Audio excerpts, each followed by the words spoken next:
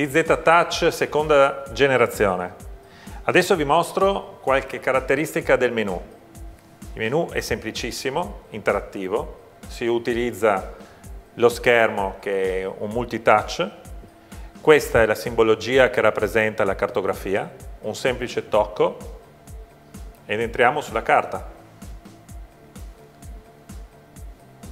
L'ecoscandaglio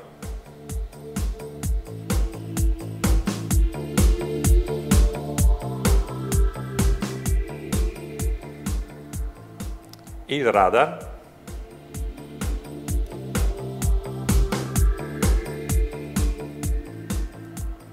la gestione delle telecamere, la pagina meteo,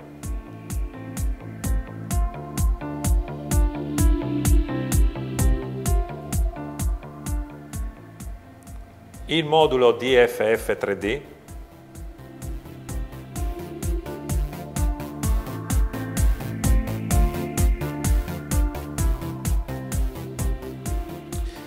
Abbiamo la possibilità anche di creare da soli le schermate più interessanti, dove per esempio in questo caso vi faccio vedere anche la schermata riguardante i dati motore o navigazione.